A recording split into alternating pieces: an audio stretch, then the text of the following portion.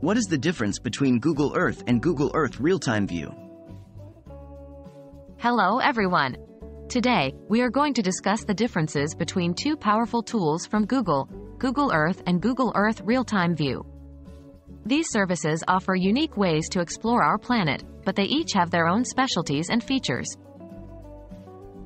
What is Google Earth? Google Earth is a geobrowser that accesses satellite and aerial imagery, ocean bathymetry, and other geographic data to allow users to visualize the world in a 3D perspective. Originally released in 2001, Google Earth gives a detailed, global view of the Earth's surface and lets users zoom in to a very high level of detail. You can explore different parts of the world, take virtual tours, measure distances, and even view historical data showing changes over time. However, it's important to understand that Google Earth does not offer real-time imagery. The images you see are composites taken over the past few years.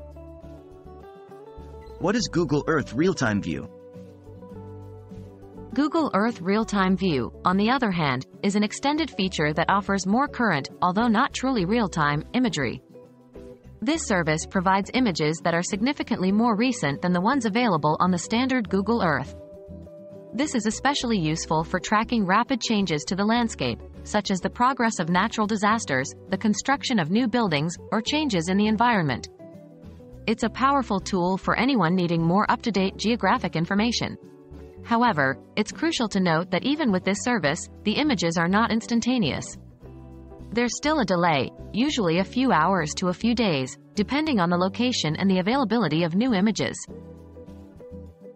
In summary, both Google Earth and Google Earth Real-Time View serve as fantastic tools to explore our planet from the comfort of our homes. While the standard Google Earth offers a detailed look at the globe using slightly older imagery, Real-Time View provides more current images, making it an invaluable tool for tracking changes over a shorter period of time.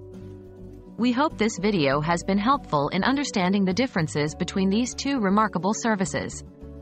Keep exploring and keep learning.